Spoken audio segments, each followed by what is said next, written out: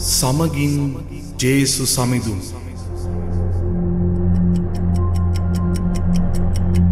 ගෙවමු එක විනාඩියක්.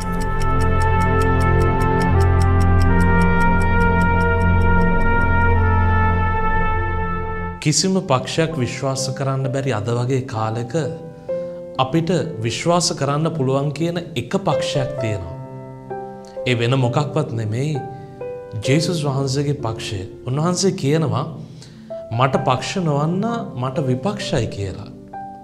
උන්වහන්සේ මේ කතන්දරය කියන්නේ ගොලු යක්ෂයෙක්ව දුරු කරන මොහොතක. මේ ගොලු යක්ෂයාව දුරු කරපු ගමම්ම අර ගොලු මනුස්සයට එක පාර කතා කරන්න පුළුවන් වෙනවා. අර පරණ ගතිය වෙනස් වෙලා අලුතින් වචන ගලාගෙන එනවා මේක දැක්කා මිනිස්සු බය වෙනවා මිනිස්සු පුදුම වෙනවා. ඒක නිසා මිනිස්සු එක එක දේවල් කියනවා. අපි හැම කෙනෙක් ගාවම තියෙනවා ගොලු ආධ්‍යාත්මයක්.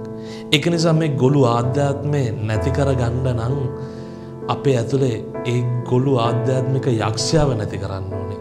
ඒක නැතිකරොත් අපි උන්වහන්සේන වැඩ කරයි කතා කරයි උන්වහන්සන සාක්ෂි දරයි අපි එහෙම විශ්වාසකට ඇතුළුවමු. උන්වහන්සට පක්ෂවෙමු.